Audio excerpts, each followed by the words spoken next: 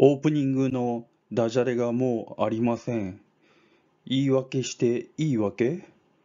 難品親父です。本日のテーマは、優待クオカード7864 15年非減配ということで、7864をご紹介いたします。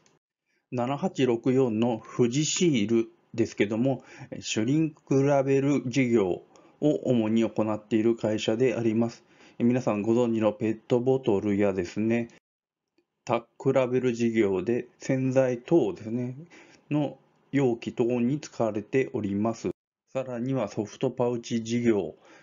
従来の固形容器に代わる包装用紙、包装袋となっております。セグメント構成を見ていきます。日本54%、アメリカ20%、欧州10%ということで、意外に海外が多いなという印象です。あと ASEAN の方も9.4%。あとこれ PAGO、これ何かと言いますと、スイスの会社を買収しまして、欧州とは別に計上しております。こちらまだですね、買収して間もないということで、利益率マイナス6%となっております。富士インターナショナルの主な数値を見ていきます。PER14.9 倍、PBR が0.9倍、ROE7.9%、ROA が5.3%、自己資本比率が67.5%で、配当利回り2.1%で、配当成功が21%であります。売上一応右肩上がり、利益の方もですね、19年度までは調子良かったんですけども、コロナショック後、え徐々に減らしております。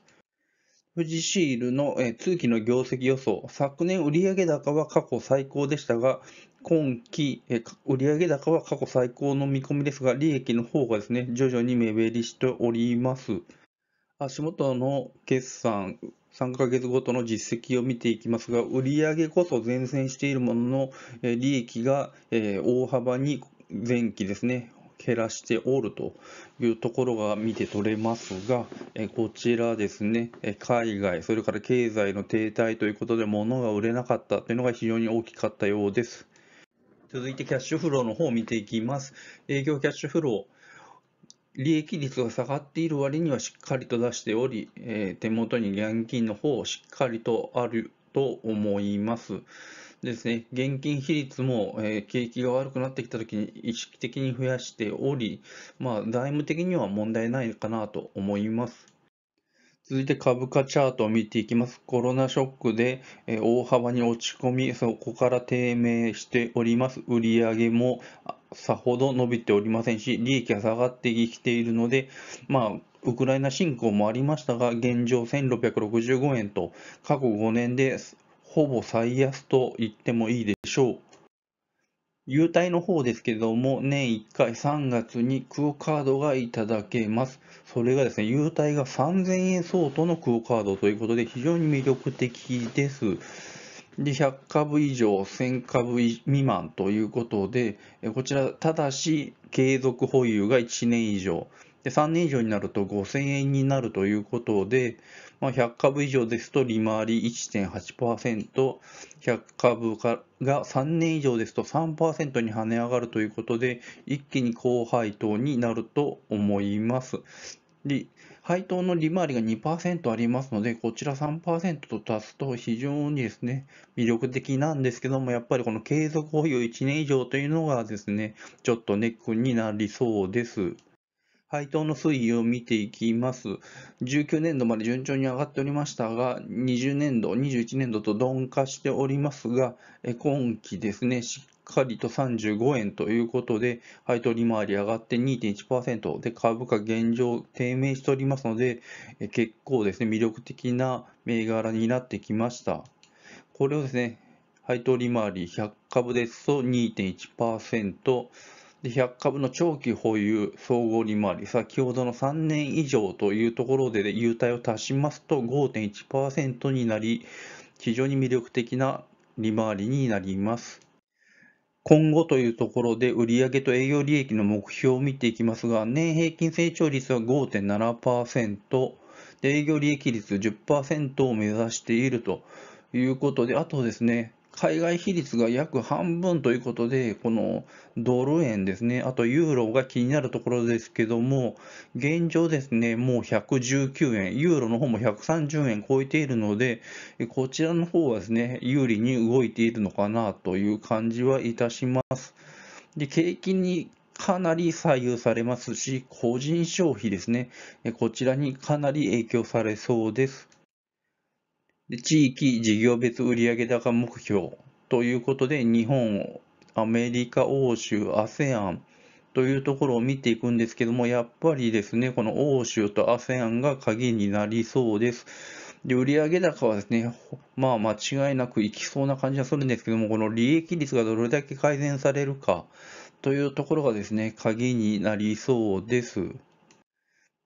で、主要のですね、目標、海外比率をちょっと上げていきたいという会社の思惑もありますし、新規事業売上高、こちらが30億円計上されているということで、こちらまだはっきりとしておりませんが、まあ、社会課題、市場の変化の対応することで、第3、第4の事業を作るということで、まあ、非常にですね、こちらが肝になってきそうです。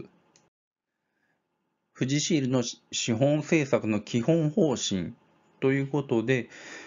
まあ、ここで気になるのは M&A、それからですね、ROE を10%の重要な経営目標としということで、ここが非常に注目されるところです。で配当方針としましては20%から25%ということで、まあ、自己株買いもですね、機動的に実施するということで、まあ、19年度、20年度の方は実施されております。こちらが社長のメッセージなんですけども、やはりですね、海外売上比率を50%に引き上げる。で、新規事業、こちらの推進が、え鍵だよということを言っておりおられます。で、新中期経営計画、鍵を握る3つの事業戦略、これも繰り返しになるんですけども、やっぱりですね、え利益率、それからですね、海外、それから新規事業、ということがですね、大きく候補に書いてあります。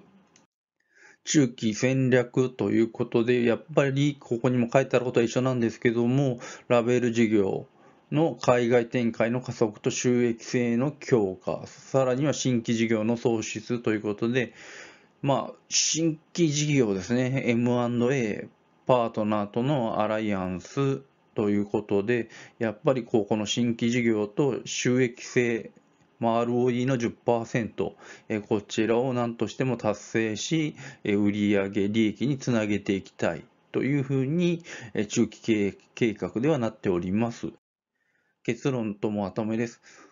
まあ、会社自体の方針等はですね、まあ、あんまり無理もなく、